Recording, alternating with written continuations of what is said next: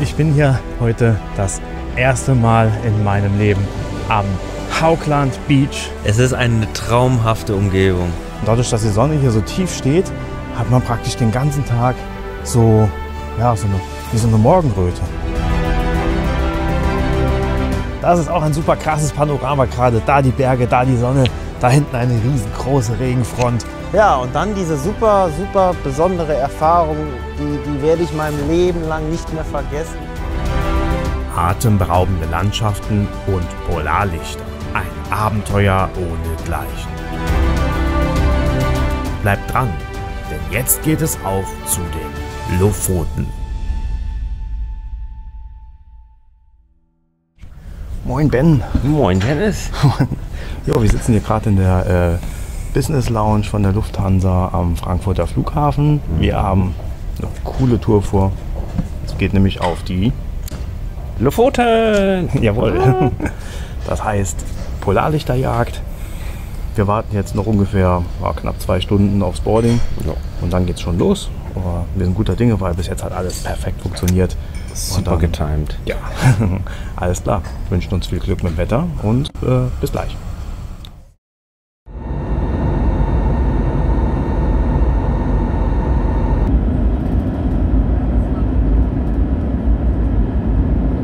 Ja, wir haben ja die Anreise gewählt mit dem Flugzeug so nah dran, wie es geht, nach Bodø. Das war ein Gabelflug, also wir mussten in Oslo umsteigen, von Frankfurt nach Oslo und nach Bodø. Und äh, dann wollten wir mit der Fähre weiter. Jetzt war der Zeitraum zwischen dem Flugzeug und der Fähre drei Stunden, da konnte eigentlich nicht viel schief gehen. Aber der Umstieg in Oslo, da waren nur so anderthalb Stunden. Und während äh, wir eingecheckt haben in Frankfurt, habe ich noch erfahren, wir müssen unser Gepäck äh, abholen durch den Zoll tragen und wieder neu aufgeben. Und dann sind wieder so anderthalb Stunden ein bisschen knapp. Und als wir dann im Flugzeug saßen, da hieß es plötzlich, die Gepäckbeladung verzögert sich ein bisschen. Dann hieß es plötzlich, die Tragflächen müssen enteist werden. Und dieses Zeitfenster von eineinhalb Stunden schrumpfte immer weiter.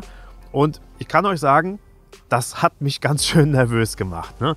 Wenn man dann am Ende nur noch 50 Minuten Zeit hat, wo man eigentlich anderthalb Stunden schon als knapp bezeichnen könnte, ähm, da wird es dann, da wurd's dann relativ schwitzig an meinen Händen. Und als wir dann gelandet sind, sind wir auch gespurtet und gespurtet und haben aber letztendlich das noch so mehr oder weniger auf die Minute geschafft.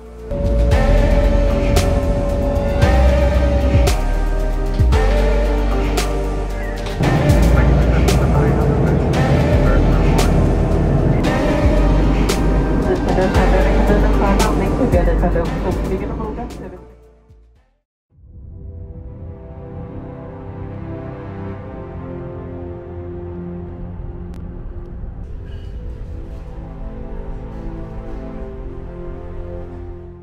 haben die Fähre erreicht. Pünktlich, richtig. Wahrscheinlich korrekte Fähre, wenn man den Plan sich anguckt. Das heißt, wir können jetzt eigentlich gut drei Stunden knacken. Ja, da freue ich mich auch echt drauf. Haben wir uns verdient. Seit 2 Uhr unterwegs und die Nacht auch gar nicht geschlafen. Jetzt ist echt mal Zappelus da. Ich freue mich drauf. Im Sonnenuntergang Fähre fahren. In Norwegen. Richtung Lofoten. Geil. Und dabei pennen.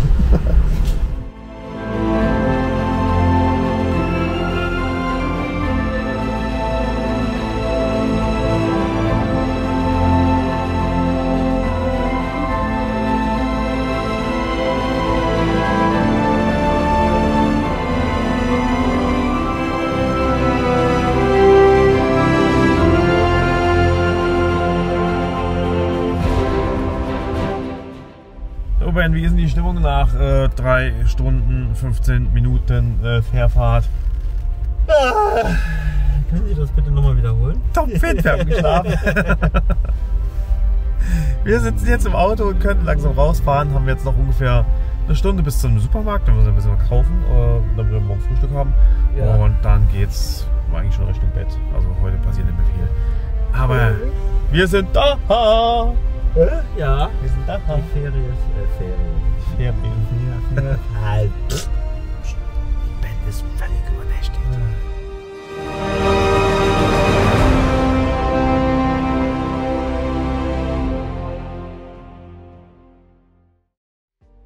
Als wir nach dieser mega, mega langen Anfahrt, also wir sind ja um 2 Uhr nachts gestartet Ja.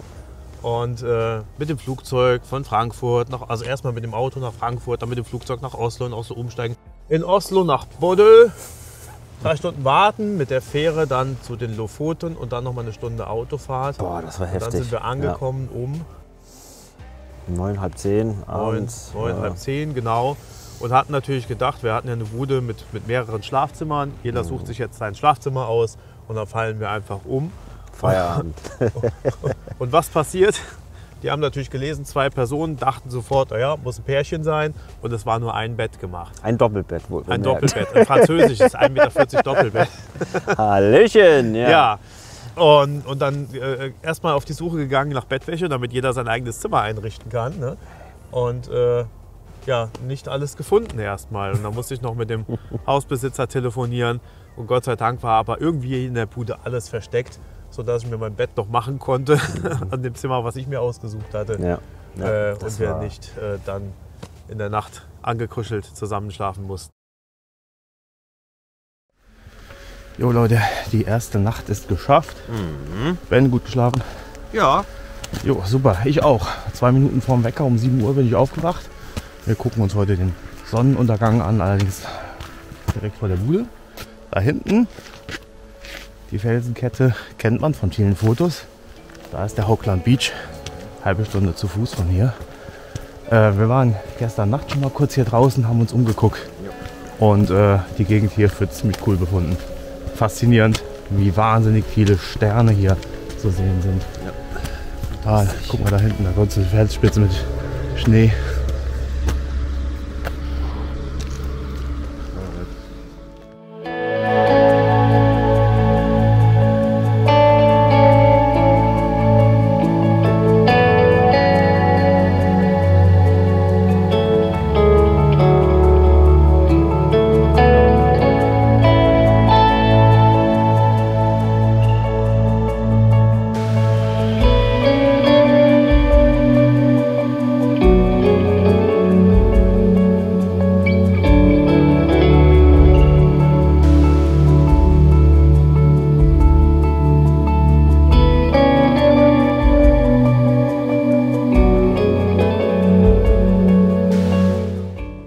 Erst am Morgen, die Kameras sind aufgebaut. Ben klopft von da aus, vorne aus, könnte man gut fotografieren. Ja, da kann er noch was lernen. Ich glaube nicht, ich weiß. Das ist die Perspektive.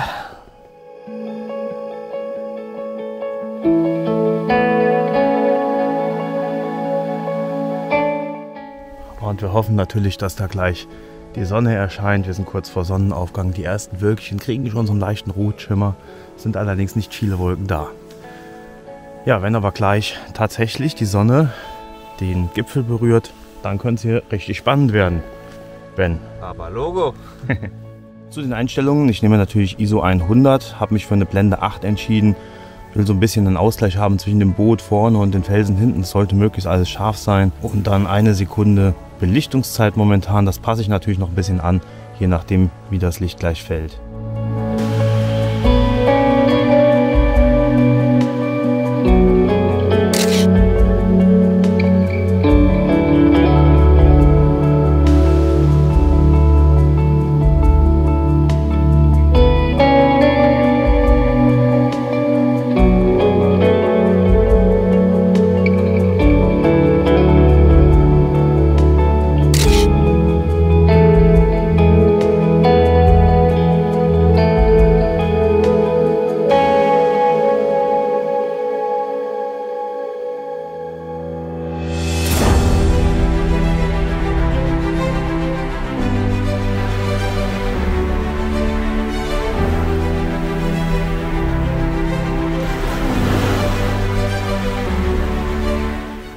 Bin hier heute das erste Mal in meinem Leben am Haugland Beach, Lofoten. Ein sehr, sehr berühmtes fotografisches Motiv.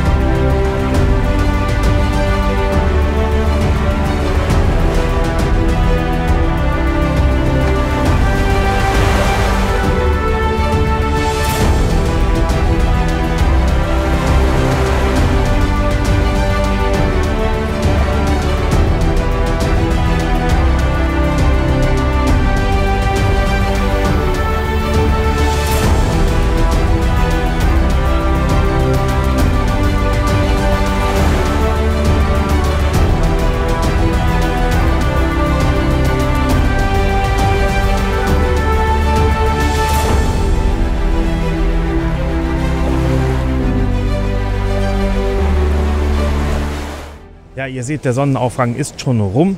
Die Sonne steht da hinten dort und äh, strahlt jetzt richtig schön ungefähr um halb elf den Strand an. Ja, ein interessantes Panorama hier. Berge, Felsen im Wasser. Äh, drumherum sieht es so ein bisschen, da oben ist ja schon Schnee auf den Bergen. Sieht ein bisschen aus wie so ein Schweizer Alpenpanorama. Die Felsen allerdings eher so, ja, nordisch, britisch vielleicht vergleichbar. Ein bisschen wie in Schottland. Und äh, ja, also ich kann verstehen, dass das gerade mit Polarlichtern im Hintergrund ein gigantisches Motiv ist. Das ist der nördlichste Punkt, wo ich je in meinem Leben war, bis jetzt. Und ein schöner Moment. Wie fühlen Sie sich, Herr Hubert? Es ist eine traumhafte Umgebung.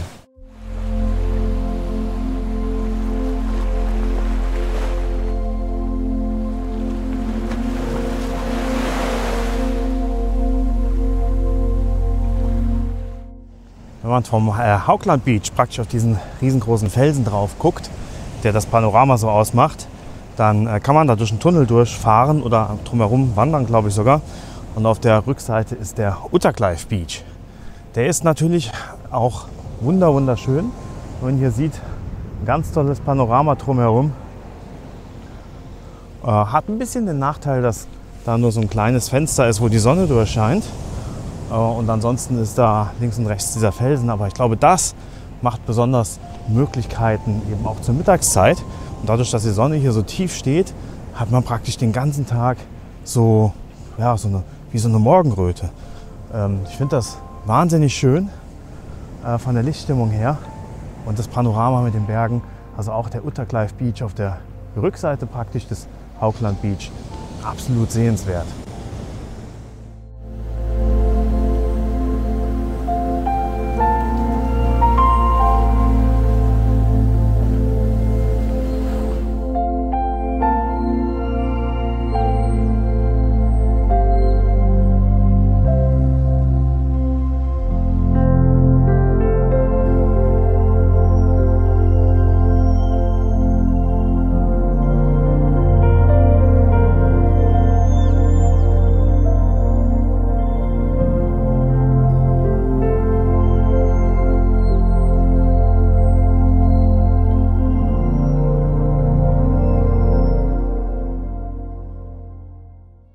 Nach diesen ersten Eindrücken sind wir erst einmal nach Leckness gefahren für ein leckeres Mittagessen, Fish and Chips mit einem norwegischen Bier, das überraschend gut war. Eine kurze Tour nach Ballstadt hat im Prinzip nur ergeben, dass das nicht so unser Motiv war und am Abend sind wir dann zurück zum Haugland Beach auf der Jagd nach Polarlichtern.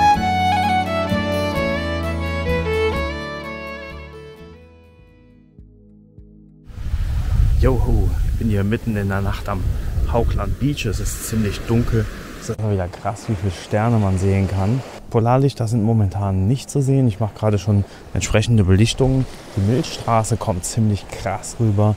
Allerdings ist da hinten so eine Stadt hier äh, oder so ein Dorf und die haben die Lichter an und das reflektiert in den Wolken. Das sieht man mit bloßem Auge natürlich nicht. Ähm, das macht es aber relativ schwierig, weil ich habe im Moment eigentlich nur die Milchstraße und orangene Wolken, aber keine Polarlichter. Es könnte sein, dass die nächsten Nächte da noch etwas äh, besser werden.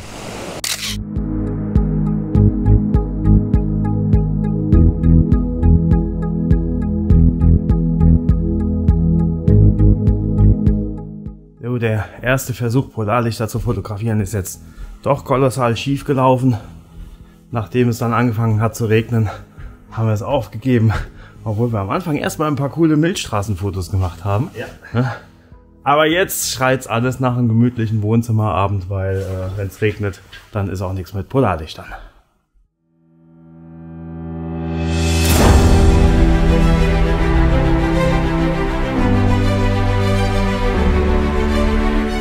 Das ist auch ein super krasses Panorama gerade. Da die Berge, da die Sonne, da hinten eine riesengroße Regenfront.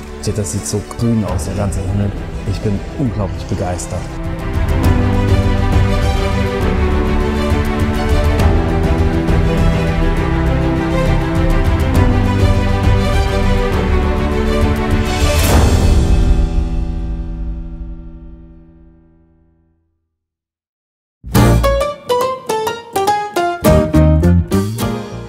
Jo, McFly, wie geht's? Ah, der DeLorean ist bereit. Mach noch normal. also Ben, das mit dem Bienchen und dem Blümchen, ne? Nein, das, Ja, ja. ja, verstehst du? Moin, moin, Hummel, Hummel, Moos, Moos. Notiz an mich selber, dem Typ, ne? Später mal uns auf die Fresse hauen.